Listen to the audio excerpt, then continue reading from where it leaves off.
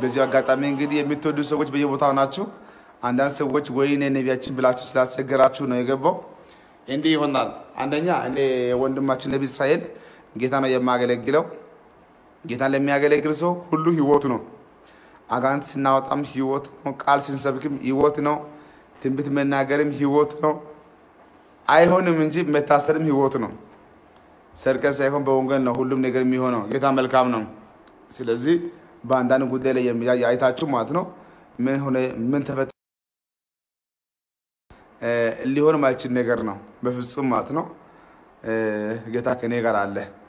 እዛ አንደኛ ቢታሰር ማለት ነው ስራ አለኝ። እዛ ወንጌል ይሰበካል። ግን እንኳን መታሰር አይደለም ወደዛ ራሱ ዞር ብዬ አላይም። እግዚአብሔር ከኛ ስላለ ማለት ነው። ድሉ ከኛ ጋር ነው። ክብር ከኛ ጋር ነው። አውቆ ሰይጣን ማለት ነው ተናዶ የተነሳ መንፈስ አለና በአንዳንድ ምክንያት እዚህኛ ቸርች የነበሩ በጣም የሚያውቁ